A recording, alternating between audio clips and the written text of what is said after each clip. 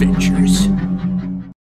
Greetings all, it's Chuke here from Chuke's Outdoor Adventures. Well, I get a lot of questions about specific calibers for specific animals, so I just wanted to do a breakdown of what I feel a appropriate caliber would be for each animal class. Now, a lot of this comes from interviews I've done with guides and professional hunters and just regular Joes that go out and hunt, but also this is kind of what I would choose. So we're gonna start out with small game. Now we're talking what Alaska State Fish and Game calls fur-bearing animals. So this is for the trapping season, rabbits, lynx, coyotes too, even though they're really not in the family because they're an invasive species, but things like that that you would trap small game. So my choice would be a 12 gauge shotgun, uh, 22 long rifle, and uh, if you really wanted to get specific, a 17 HMR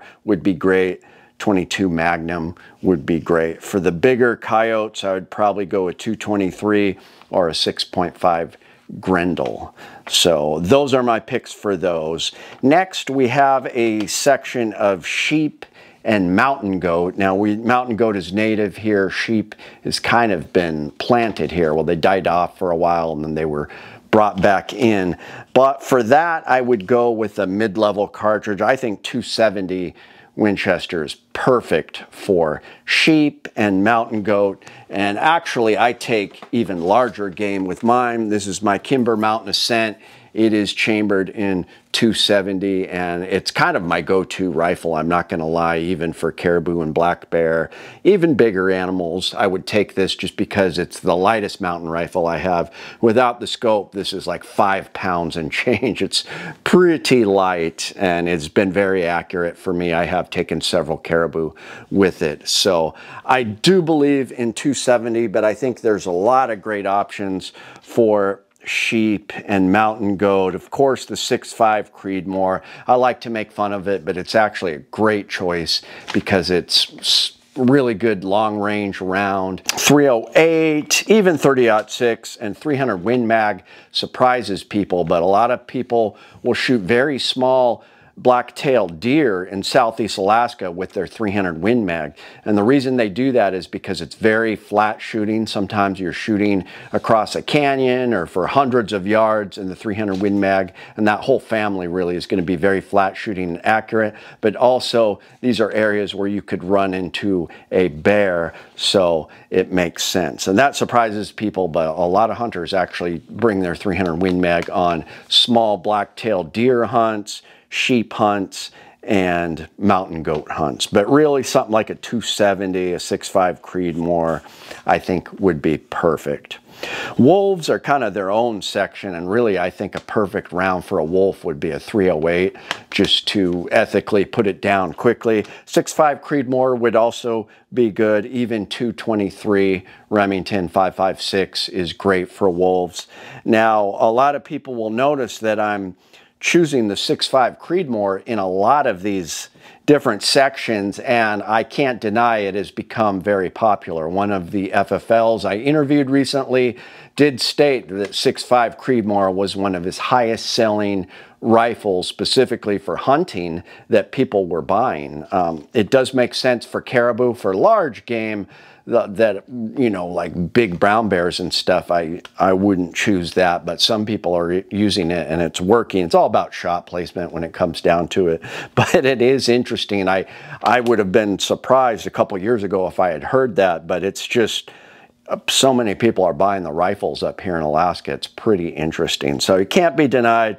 6.5 Creedmoor is being used a lot for hunting up here. You go to the sporting goods store and you'll see a huge section of 6.5 Creedmoor specific hunting rifle rounds for sale. So pretty interesting. Now we're getting into the kind of medium size, larger of the large game, the medium sized large game. So specifically black bear and caribou. I would choose a 270 again. I, I think it's perfect for black bear and caribou. 308 would be my second choice. 30-06 is widely used. It's probably a universal round that you could use for a lot of these animals. 300 Win Mag, of course, can't go wrong. And again, we have the 6.5 Creedmoor, which will work for those sized animals too. Next, we have moose, probably the one of the largest animals up here.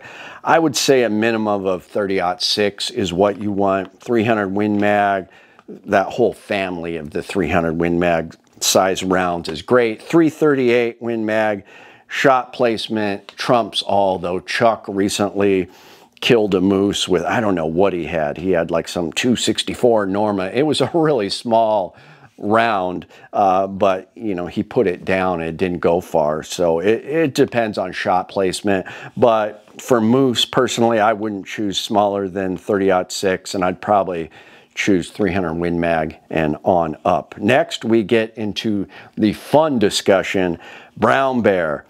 Uh, my choice would be 338 Win Mag and on up. For the rifles that I have right now, Unfortunately, I don't have a really big, big dangerous game round rifle, but I do have a 338 Ruger that is just solid and this will do great on a brown bear. Chuck uh, shot a brown bear in the face with a 338 Win Mag rifle, very similar to this one. It was an older one, had a really nice stock. He got it from me, but he was at 80 yards. It was coming down a trail and he shot it right in the face. It just crumpled and died instantly right there. So you can't say that 338 is not a good choice. But if I were to go to Kodiak Island or the Alaska Peninsula, where the largest of the large brown bears were, I would my choice would be a 375 H&H.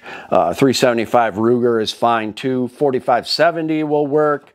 416 Rigby is a great choice. Then, of course, you got stuff like the 470 Nitro Express and something like you would bring to Africa would also be a good choice. Now, I will mention that I've talked to a lot of people in villages, um, buddies I know. A lot of people will buy a 556 AR-15 or a 762 by 39 AK-47 and take everything from walrus that weighs 1,500 pounds to polar bears to bear, eh, moose, bear, everything because it's cheap and uh, in rural Alaska, you know, a gallon of milk can be $10, a gallon of gasoline can be $10, everything's $10.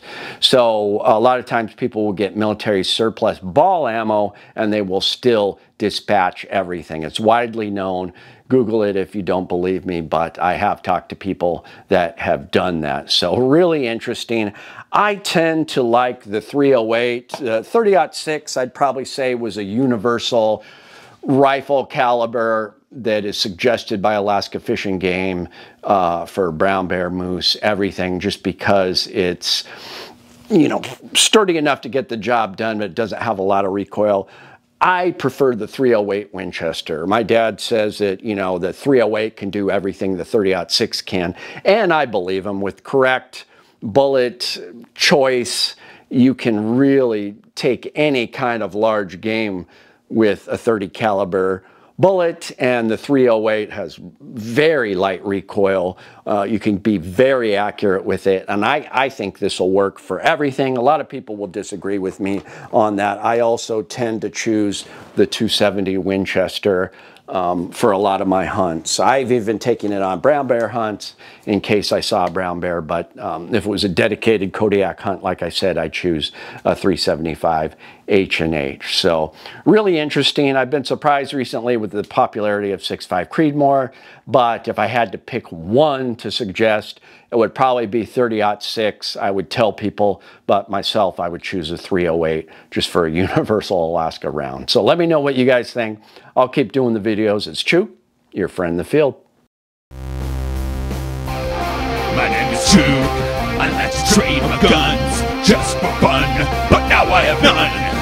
Oh, look, shot by bear, but I don't care. I got a 10 millimeter. Outdoor adventures. Watch die every time.